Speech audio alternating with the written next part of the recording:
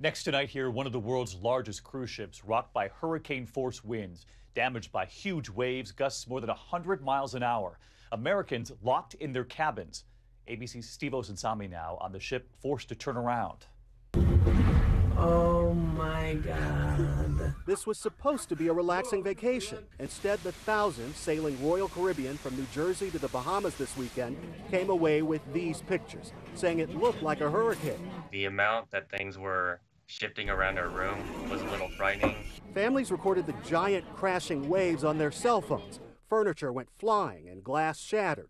The captain ordered 4,500 passengers and 1,600 crew members to stay in their rooms for hours. Four people were hurt, but not badly. Peter Lupus, still on board tonight, blames the captain. I really resent the fact that he put 6,000 people's lives at risk, uh, taking us into a storm that was predicted. As early as Wednesday, the forecast was for 30 foot waves and near hurricane force winds. In a statement today, Royal Caribbean apologized to passengers and turned the ship back to New Jersey due to weather forecasted for the next few days. Tonight, the cruise line is promising passengers a full refund and more, but their vacations are ruined. David? Steve, thank you.